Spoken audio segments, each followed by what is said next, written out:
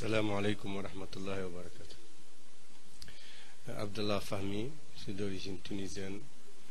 J'ai connu Serine Touba en 1994 au Maroc par des Qassaïd, qui ont récité les Qassaïd de Serine Touba. Et j'ai été stupéfait par euh, la teneur.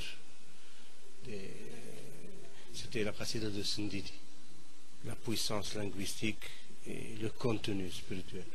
Et là, j'ai commencé à chercher sur Touba jusqu'à ce que j'ai atterri au Sénégal en 97, 1997. Et J'ai fait mon dibour avec Serine Salim et depuis, je suis là.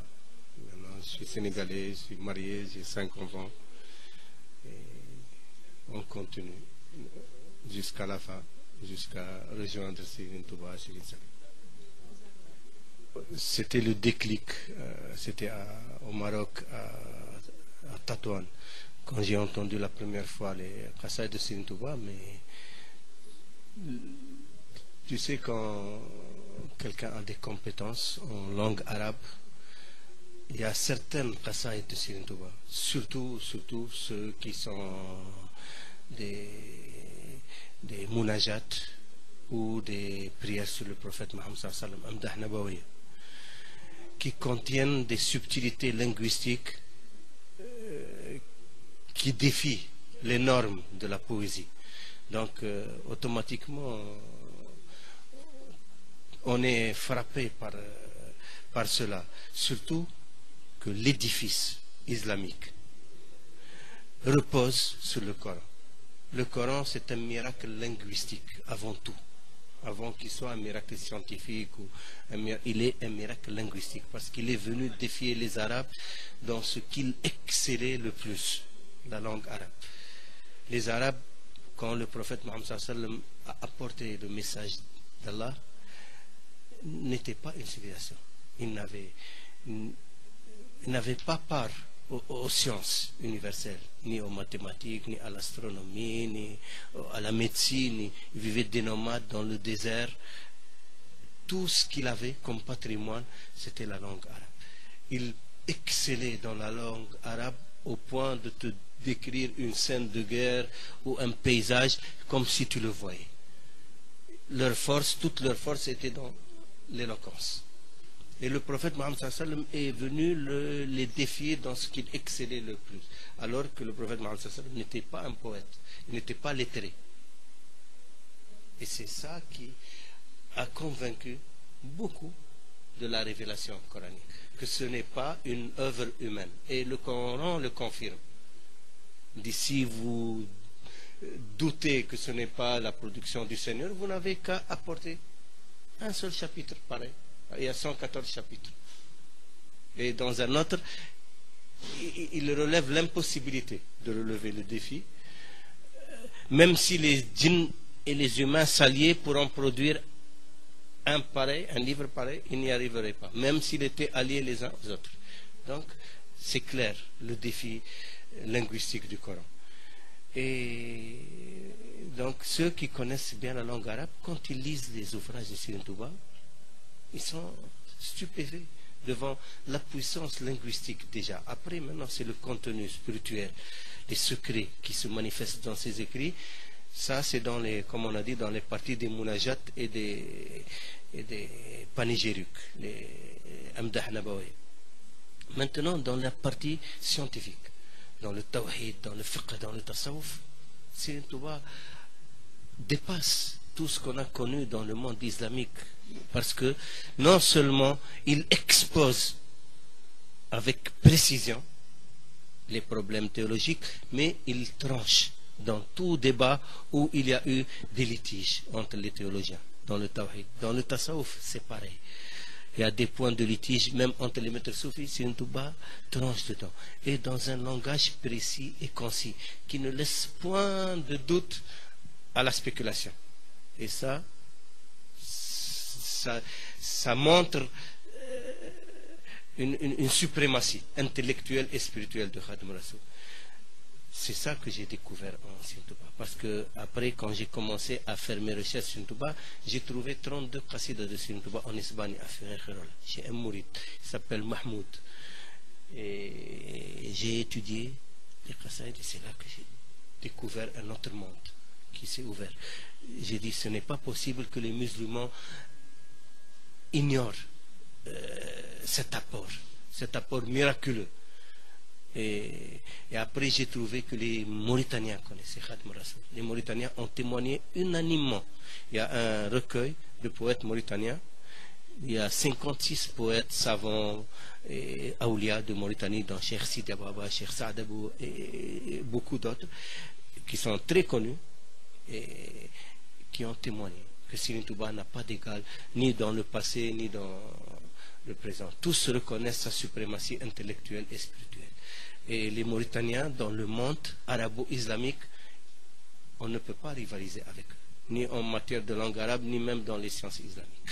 Ils sont connus dans le hadith, dans le fiqh, dans le tasawuf, dans le tawhid, euh, partout où un savant mauritanien vient, l'Azhar euh, en Égypte, ou euh, Zaytouna en Tunisie, ou Qarawin à Fès, même les savants, ils viennent puiser en lui.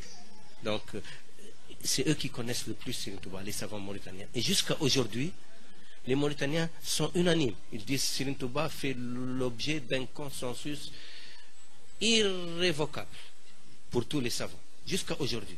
Personne n'ose mettre en doute un propos de Sirin Touba. Dit Touba a des particularités auprès d'Allah qui sont au-delà des compétences humaines.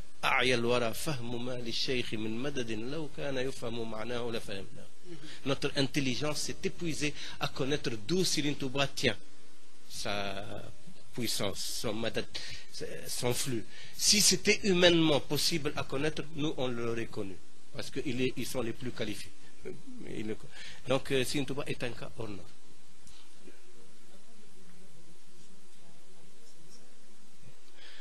Donc, euh, après avoir euh,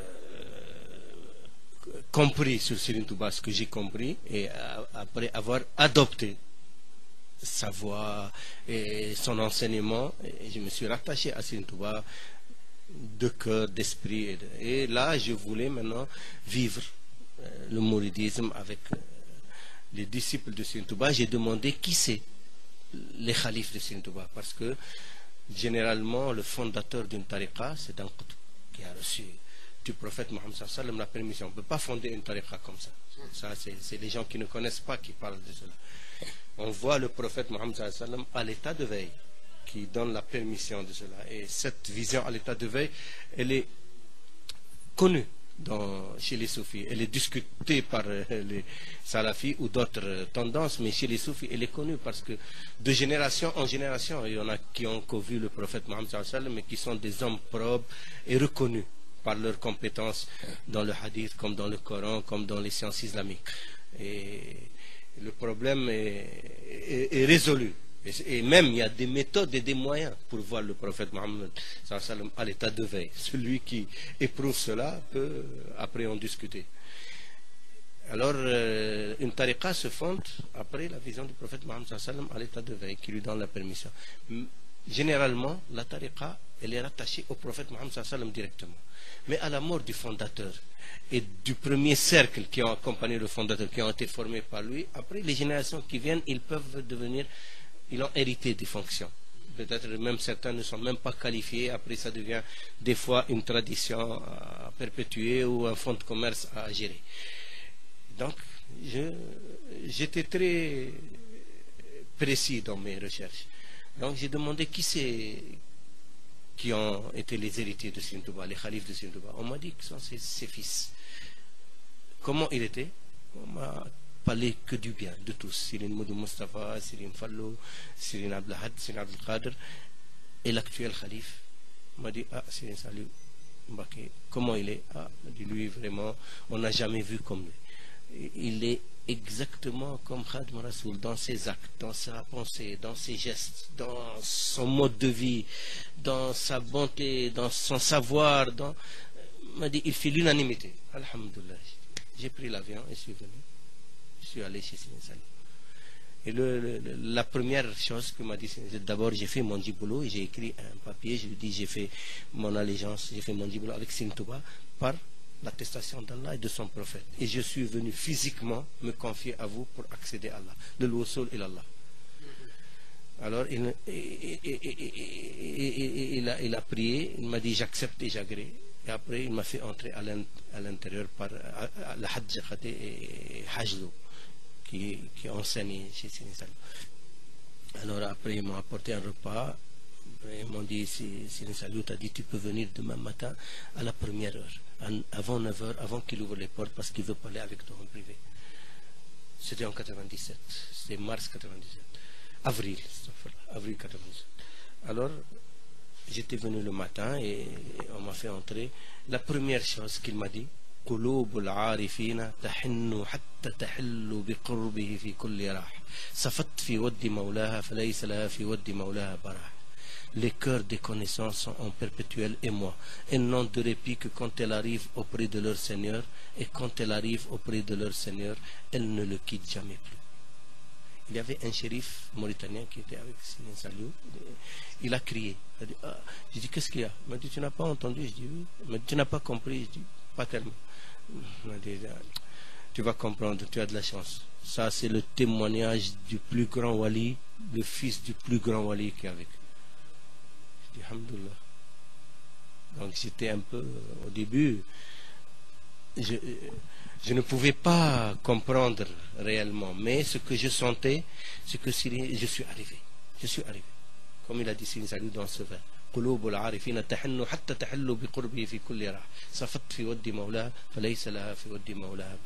donc je sentais une quiétude une paix et que j'étais arrivé et Salut m'a dit il faut venir me voir chaque jour je veux te voir et même si je n'ai pas le temps de parler avec toi parce que des fois j'ai beaucoup de visiteurs. Je n'ai même pas le temps des fois pour, euh, pour moi-même.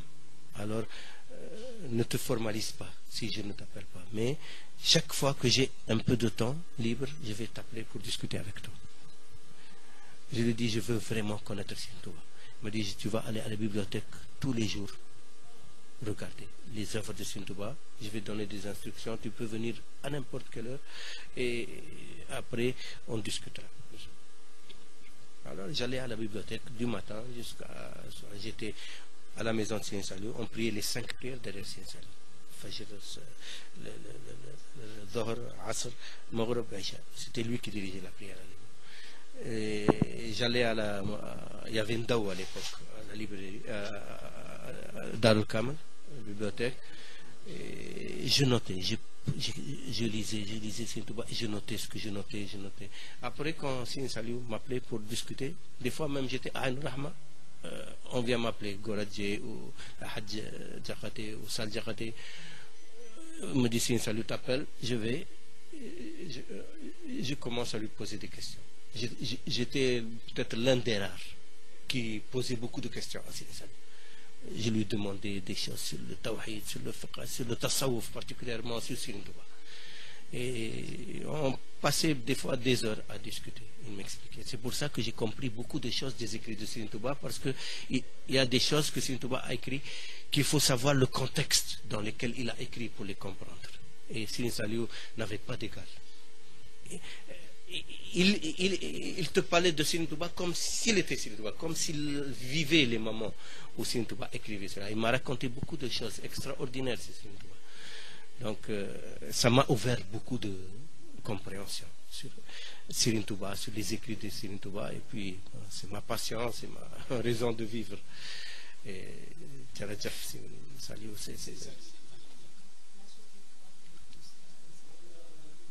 Tout tout, tout en lui est marquant. Sa bonté, sa générosité, son accueil, sa, euh, il, s'habillait. Vraiment, ça, c'était le dernier de ses soucis. même pour manger, je crois, à peine qu'il touchait les aliments. Ça, c'est le. Salut, il me disait simplement celui qui vient me voir pour Allah, pour le prophète Mohammed, pour l'islam, pour Sirin Touba, j'ai tout mon temps pour lui, parce que c'est pour ça que je suis là. Quand quelqu'un il vient pour autre chose, je lui accorde ce que je peux demander. Tout simplement. Voilà. C'est un salut tout en lui, c'est-à-dire sa façon de sourire, son regard, euh, son visage, sa lumière, euh, ses gestes, tout était en lui.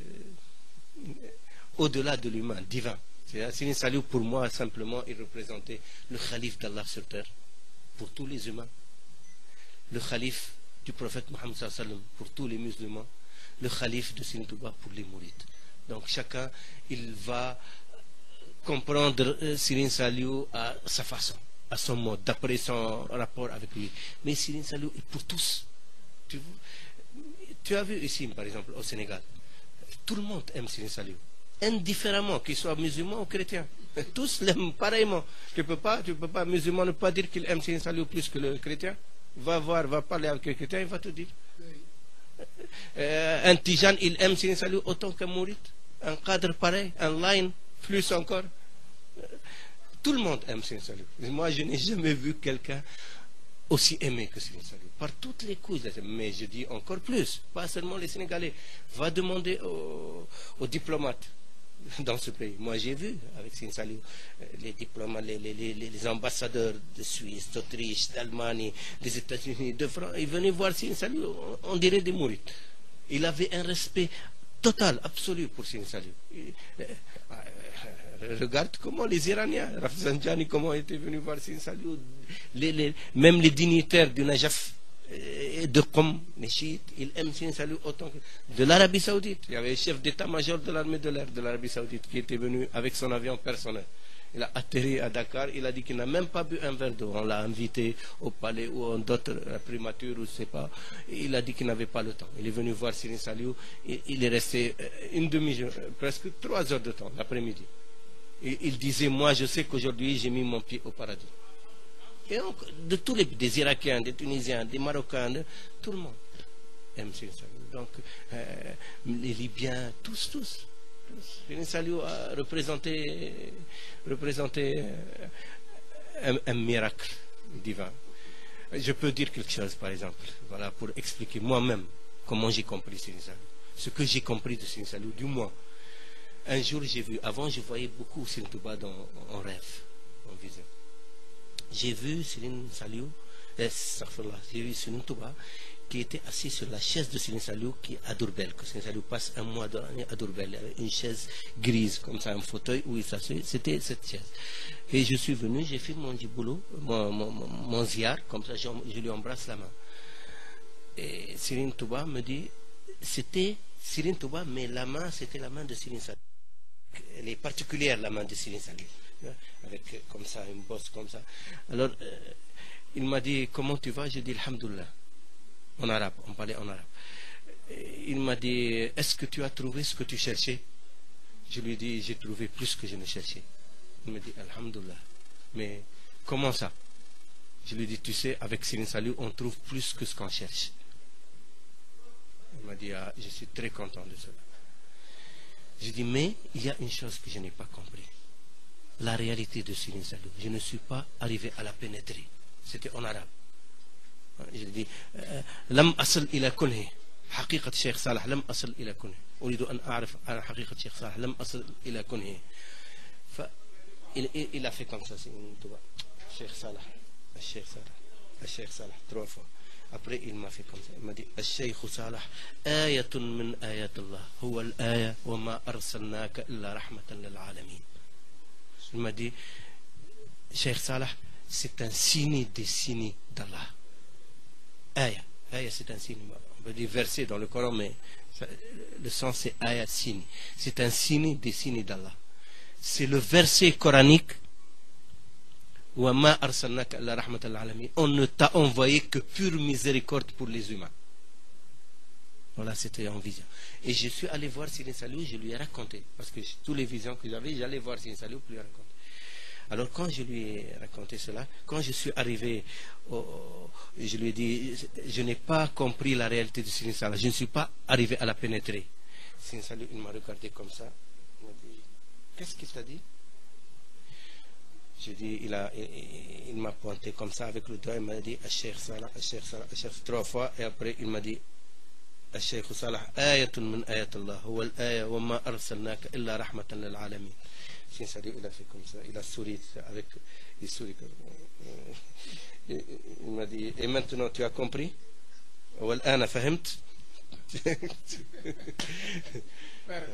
Donc, tout ce qu'on peut dire, c'est il a été envoyé comme pure miséricorde pour les humains. Et la preuve, quand Sin Saliou euh, a changé de mode, il a quitté ce monde matériel, physique, depuis là, on vit des, problèmes insolubles partout. partout, non seulement au Sénégal, partout.